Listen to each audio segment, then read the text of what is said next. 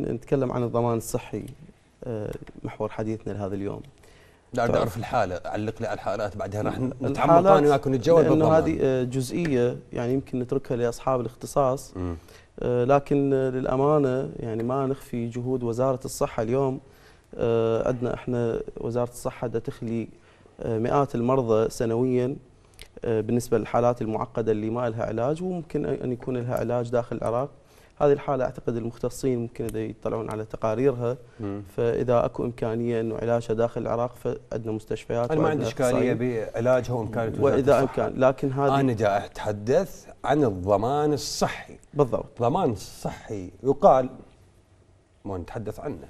موالاه الناس ما تحدث به والد الطفلة حبر على ورق.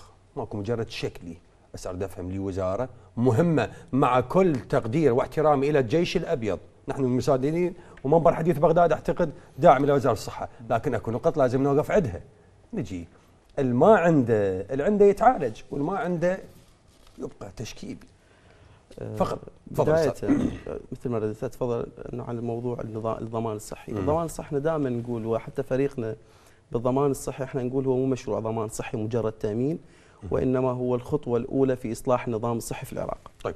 هذا المشروع مشروع مهم ومشروع جبار ممكن أن ي- راح يترك انعطافة مهمة مم. وخطوة مهمة لمستقبل صحي آه، ناجع في آه، أو ن- خلق نظام صحي متكامل مثل طيب. يعالج مثل هاي المسائل تعرف حضرتك اليوم أغلبنا غير راضي عن مستوى الخدمات الصحية المقدمة اليوم في في أغلب مؤسساتنا الصحية وهذه أسباب كثيرة من المراضي؟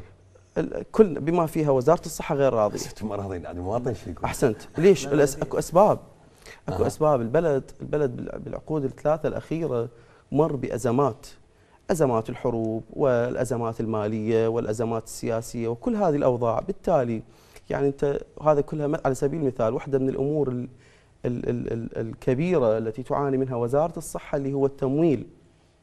يعني 150 دولار تقريبا ال- الفرد من الموازنة ال- الحكومية وهذا ما يشكل 5 إلى إلى 6% أعتقد أستاذ من أنا ما ادخل أنا ما أريد فهذا بعد بالتالي إذنك- بعد إذنك، عفواً. نتناقش أنا ما أريد طب إحنا كل ما نحكي وحكينا التمويل والتمويل وندبها بملعب وزاره المالية.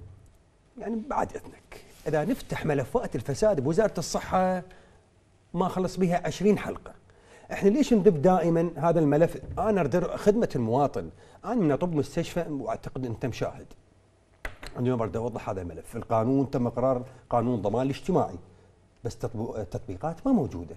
أريد أعرف على أي أساس تم إقرار هذا القانون إذا ماكو تطبيقات أو ماكو أموال. هسه إذا اخذ من هيئة الإعداد إيش قد الموازنة؟ وإيش قد انصرف على وزارة الصحة؟ من بدت لحد هذه اللحظة. بس ما تقول لي خلال ثلاث سنوات ما عندنا